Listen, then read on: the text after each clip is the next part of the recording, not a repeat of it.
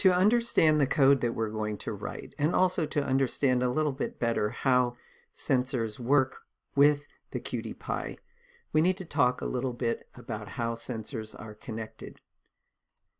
There are three aspects to this connection. There's the protocol that the sensors use to talk, there's the actual connections themselves, and then there's the physical wiring that's done to hook the sensors together. So we'll talk about each of those in turn. One of the communications protocols that's available on the QT Py RP2040 is called I2C. It's a very simple communications protocol that only requires two wires. One of the wires controls the clock, which controls the timing of the communications, and the other one controls the data that are passed between the devices in this communication chain. The protocol only requires two wires, and if you look at the wires here, you will see that there are four in the connections, but only two of them are actually used for communication. All of the devices that are connected to the QT Py share the same two-wire connections, and so you can chain together several sensors. Each of those sensors is identified by a unique address, so when the communication is sent out on the I2C system, all of the sensors get the information, but they only pay attention if they are addressed by their unique identifier. The QT Py RP2040 actually has two controllers that can communicate using the I2C protocol. The way that you access these controllers is different. The I2C controller 0 is accessed through these two metal pads that are directly on the circuit board of the microcontroller. If you want to use those, you have to solder wires onto them. The other I2C connection, I2C1, is connected through this STEMMA-QT connector.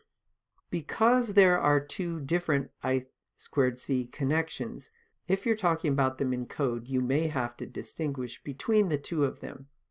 I squared C0 is the most typical one that's used, and so it is addressed simply as SCL and SDA for the clock and the data lines. If you want to use the StemmaQT connector, which we typically do, then we have to differentiate it by using SCL1 and SDA1. Because of this, sometimes code examples that you find on a website will need to be modified. In places where the code says board.scl and board.sda, you may have to substitute board.scl1 and board.sda1 if you're connecting by plugging into the StemmaQT connector.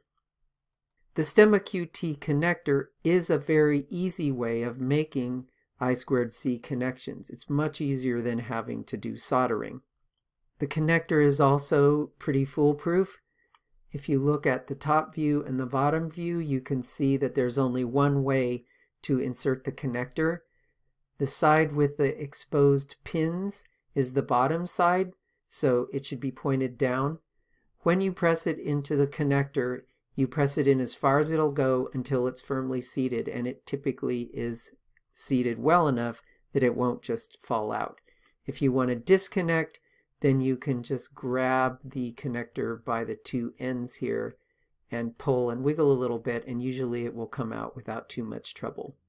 It doesn't matter which of the two connectors on a sensor board you use. You can use either one. The second one is there if you want to chain an additional sensor into the I squared C network.